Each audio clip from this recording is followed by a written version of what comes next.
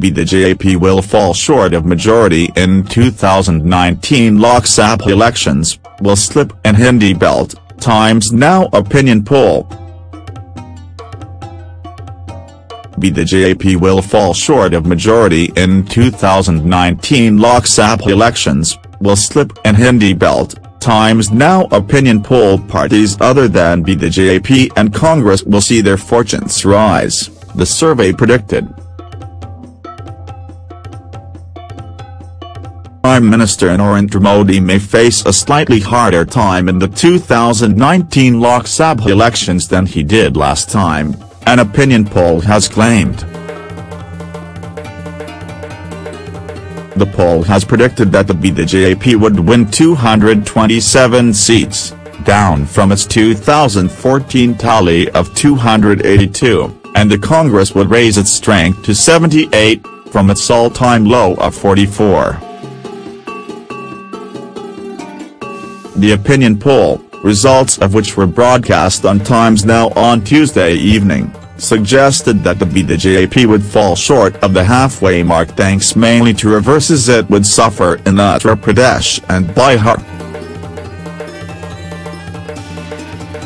The two states had given the Saffron Party 93 of its 282 seats in 2014 but the opinion poll saw it winning 64 seats in the 2019 Lok Sabha elections.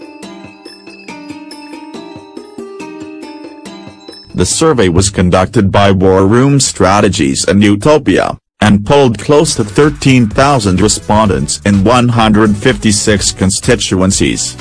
The Narendra Modi-led BJP had won 282 seats on its own with its NDA allies bringing in another 54 seats.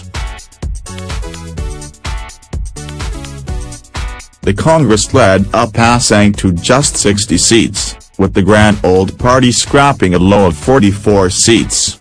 The opinion poll however, forecast only the BJP and Congress, bunching all their allies and other standalone parties under others.